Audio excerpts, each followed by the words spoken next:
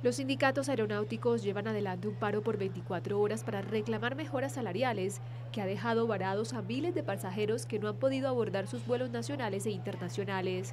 La Asociación del Personal Aeronáutico de Rampa y Pista, la Asociación de Pilotos de Líneas Aéreas y la Unión de Personal Superior y Profesional de Empresas Aerocomerciales adoptaron esta medida luego de rechazar una oferta salarial de aerolíneas argentinas e intercargo en el marco de la negociación paritaria.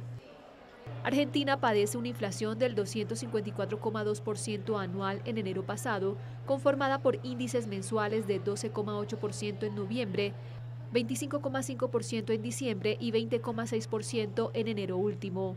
Y los salarios están perdiendo poder adquisitivo frente a la alta inflación, a pesar de que las negociaciones paritarias han tomado un ritmo mensual.